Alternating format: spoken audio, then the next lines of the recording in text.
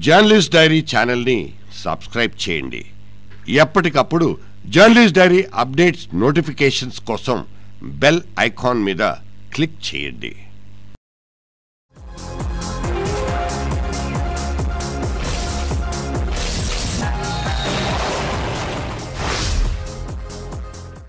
కత్తి దిగింది.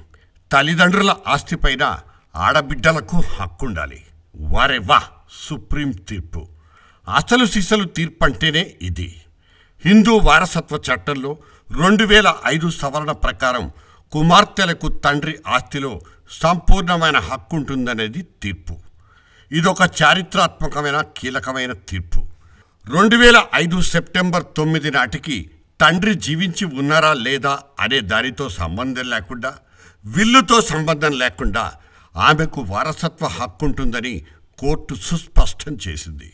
ఆడపిల్లలకు ఆస్తిలో సమాన వాటా దక్కాల్సిందేనన్న విషయం మీద ఇప్పటికీ కొన్ని సంశయాలు చట్టపరమైన ఇంకొన్ని చిక్కుముడులన్నింటినీ పూర్తిగా విప్పేసిన గొప్ప తీర్పు ఇది. కొన్ని దశాబ్దాల క్రితం ఎన్టీఆర్ మహిళలకు ఆస్తి హక్కు ఉండాల్సిందేనంటూ ఒక చట్టం చేశారు.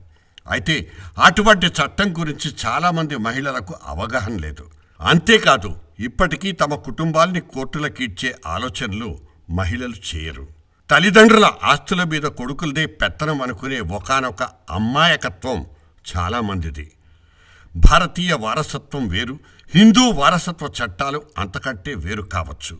కానీ కాలం మారింది. చట్టాలు మారాయి. తండ్రి విల్లు రాసినా రాయకపోయినా ఇవాల్టి పరిస్థితుల్లో కూతుళ్ళకు ఆస్తి హక్కు సంక్రమిస్తుందన్న అద్భుతమైన తీర్పు ఇది. ఒకవేళ మహిళలు వివాహం తర్వాత మతం మార్చుకున్నా మార్చుకోకపోయినా ఈ వారసత్వ చట్టం వర్తిస్తుందనే విషయం చాలా మందికి తెలియదు. తోబుట్టువులైన మహిళలకు తల్లిదండ్రుల ఆస్తిలో వాటాలే ఉండవంటూ సోదరులు ఇంకా నిరాకరిస్తూ దాఖలైన కొన్ని పిటిషన్లపైన ఇవాళ సుప్రీం త్రిసభ్య ధర్మాసనం ఇచ్చిన తీర్పు అద్భుతమని చెప్పక తప్పదు. ఇటువంటి నిరాకరణలు ఇకపైన చెల్లబోవంటూ చెప్పినట్లయింది. ఈ తీర్పు సమాజంలో పురుషాధిపత్య అహంకారాలకు సుస్పష్టమైన ముగింపు వాక్యమే. ఆహా అంటే ఆస్తి హక్కు. ఆహా ఎ కంప్లీట్ ఫుల్ స్టాప్.